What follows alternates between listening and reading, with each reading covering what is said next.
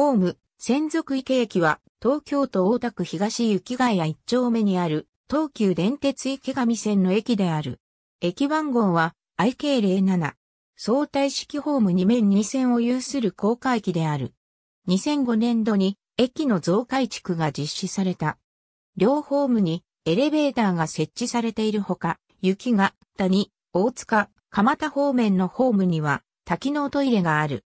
2020年度の1日平均乗降人員は13,881人である。近年の1日平均乗降、乗車人員の推移は下記の通り。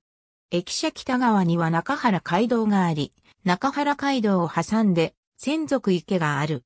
駅前商店街は専属池に対して反対側にガードをくぐり抜けた先にある。専属池のボート乗り場脇にはかつてイタリア料理店テラスジュレがあり、水辺のレストランとしてテレビドラマのロケ撮影などにしばしば利用されたことがある。駅を挟んで専属池と反対側には住宅街が広がり、その中を専属池の湧水を利用した小川が流れている。専属流れに沿って桜が植えられている。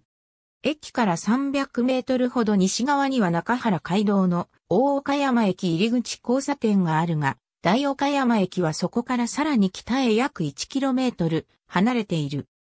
当駅付近の地下を建設中の中央新幹線台、一首都圏トンネルが通過しており、駅西側の警視庁東雪ヶ谷住宅跡地には、当該トンネルの東雪ヶ谷非常口が設置される。駅のすぐ北側に位置する、専属池に由来する。